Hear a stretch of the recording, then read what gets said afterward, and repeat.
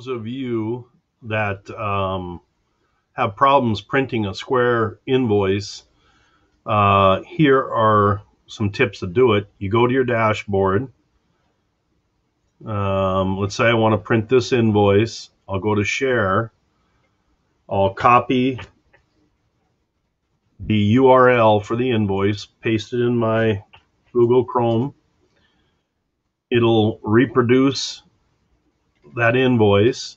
Now, if I click print, you're printing from the browser and you're able to, in your more settings, normally at 100%, it might be two pages,